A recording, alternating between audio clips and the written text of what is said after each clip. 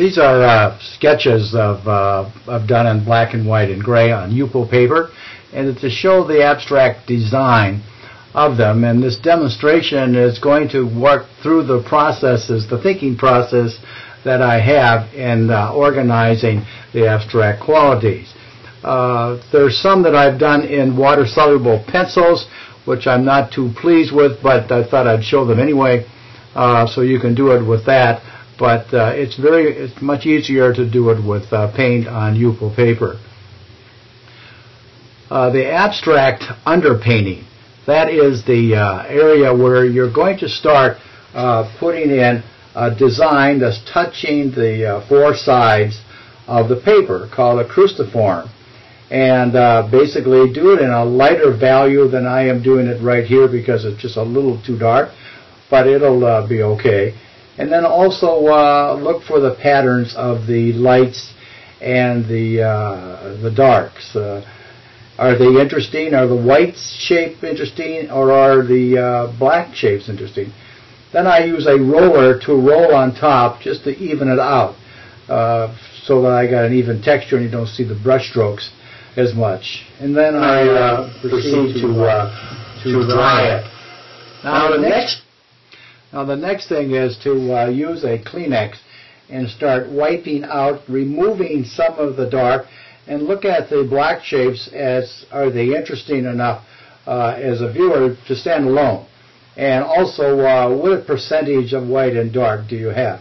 You should have a dominance of white or dominance of dark. Now, using a soluble, uh, soluble uh, pencil, this is a 2B uh, fairly thick. I'm drawing the head of a, uh, of a, of a chicken, only made up. I'm not using any pictures or anything like that. Uh, just simplified, stylized uh, type of, uh, of chicken. And I'm looking to see exactly where I would want it in relationship to that dark area that, that I'm drawing. Now, I, I looked at that little piece of uh, gray that I've drawn there, and I thought, well, that'd be a nice place to put a chicken that's sort of feeding on the ground. Uh, and then sort of I drew that in there. That gave me a big shape and a small shape. And now I'm trying to look to see where I would put the next one. I like to cover this area all the way down in front and then across and overlapping on top of the big uh, rooster that I have already uh, drawn. And uh, and so then I'm blocking it in, and you can see the the negative spaces that are inside. Now, erasing edges. That's most important because when you erase an edge, you have overlapped or underlapped, and also you have created some sort of abstraction. For instance, I'll erase the edge on this, not with an eraser, but with a damp Kleenex. Uh, I found out that the eraser was leaving an oil stain on the Yupo paper, and then it would not take paint. Now in this particular case, I'm adding a third value, which is a little darker than the first value that I had on. And remember I said that first value maybe should have been a little bit lighter. And so now I'm going to have to go darker in order to see it better. And it's a negative space uh, uh, painting that I'm doing so you can see the uh, form of the, uh, of the rooster. And as I bring down this dark uh, form. I'm just going to leave it because I don't know exactly where I'm going to go with it. So I'll just stop right there and I'll look for another place to put to see if I can define this rooster, but not completely. I don't want to outline it completely with the black. And then I'll do a little bit more erasing, wiping out with a clean Kleenex so I can sort of see what that looks like. You see all the negative space and the positive in the rooster have uh, emerged. Then on the other side, I'm using a lighter value and seeing where I can do some connecting. I am not tied to anything that I've drawn before. I am always uh, analyzing what's in front of me and making changes. And so you see where that uh, eraser was, it was crawling. So I learned a little thing right there that you can't erase with an eraser on Yupo paper because it will leave a, a uh, oil and sometimes that's nice. Uh, so I'm using a lighter value, And then it's really wet at this point in time, so I'm going to dry it totally to the touch. And then I'm going to go working in here and say, okay, I'm going to bring some of that dark up into this chicken here. That's about as far as I want to go. I'm only looking at the shapes of things and not chicken. Uh, so I'm going to bring that across there. And uh, it takes a little while of thinking to see where you're going to put the next value. And so I'm analyzing and think, okay, I like that be dark against light instead of doing the background because I didn't want another dark up that high. And so that sort of told me that that end of the chicken should be that value. And as I as I analyze the end of the end of the shape that I'm doing here, I want it to be not too busy, and that's a little too busy, but I'll change it. Uh, okay, now with the uh, water-soluble pencil, I'm drawing in another head uh, to where I want the uh, chicken to end. And I'm going to erase the other one that I had on it that I drew at first. Okay, and then using the uh, side of the brush, this is a flat brush, um, using uh, black watercolor paint. Uh, I'm uh, just bringing that dark all the way down to touch the lower edge of the uh, composition. Uh, they call it the format, the edges of your of your paper is called format, and then you try to inside that format you try to organize your whites, your middle values, your darks in an interesting way. So I'm looking here and I'm thinking, okay, I think maybe I will put a big rooster tail up on that particular side. And I think that's working pretty well. Uh, so I'm going to uh, leave it. With nice thing about this Yupo paper is that you can erase it. Uh, so that's the beauty of, of doing it like this. You can do uh, finish paintings too. It doesn't have to be just for sketches. Uh, but for sketches it works great. Now I'm going to try to connect the whites. And so I'm going to rub out with my Kleenex again and I'm going to do some connecting. And when I connect, I'm starting to form a more of an abstract pattern.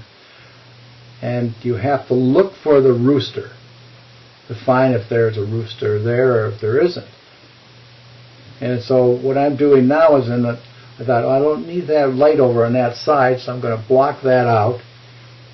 Put a few darks there, and then I'm using the brush to wipe out also. And continue that right through there and connect that white right through there. And then I think what I'll do is I'll work on this head right here and make that light uh, down there and connect it with the, uh, the body. All of this is experimental.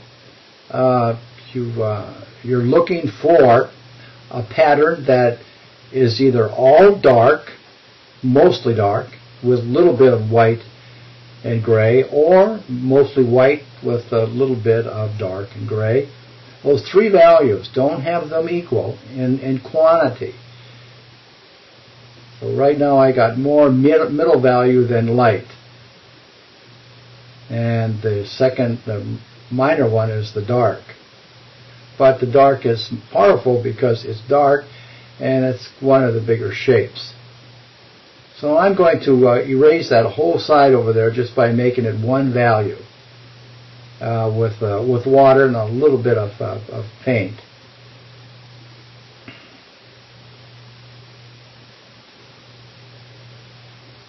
Now uh, this is uh, connecting with the damp brush. You see, you can you can make some nice lines And I'm going to work on this head up here a little bit to see if I can get that uh, rooster to look at us instead of uh, away.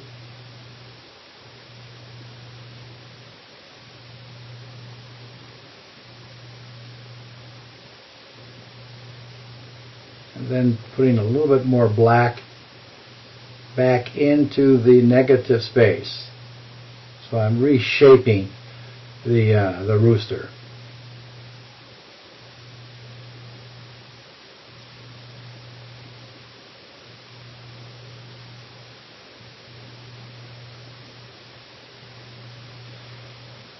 Now down here I thought I'd put a leg with this particular rooster or chicken. And then I got just a little bit too literal. Uh, I felt that that was just too much action, and so I'm uh, I'm going to take that out. And I got a little. Uh, my black is mixed up with ultramarine blue and burnt sienna, and uh, and so sometimes I get a little bit more blue with it. Now you edit with a wet tissue. You see, so what I'm doing here is I'm being very, very uh, bold. Sometimes you have to be bold in order to see what's the other side of that mountain or the road that you're climbing. In this particular case, by taking all of that out, I'm able to see if it if we're going to if we're to use more white than black. And so uh, it's only a sketch. And so I'm still working on it, and I'm thinking that, well, I think what I'll do is I'll uh, I'll put in now a lighter a lighter value, and of course, don't go by the blue that I have. It should really be gray, but it's the value is the most important part. It's uh, it's a lighter value than inside the uh, the chicken, and uh, and so that now will set off the white. So the we'll have a dominant uh, middle value, light middle value as the dominant value in this sketch. And this line right here is disturbing because I've outlined the entire chicken with a line that I didn't like. So what I'm doing here is trying to remove it. And just as an example, uh, you want that completely gone. Uh, otherwise, you still read it as outline, even though it's faintly done. So I'm using the eraser again, and that'll be an oil spot there, but I want that to go flow right into that that chicken. So you don't you see the chicken and then you don't see the chicken. And then using a little uh, darker value, uh, thicker paint, I'm going to do the connection between the left and the right side with the the black value.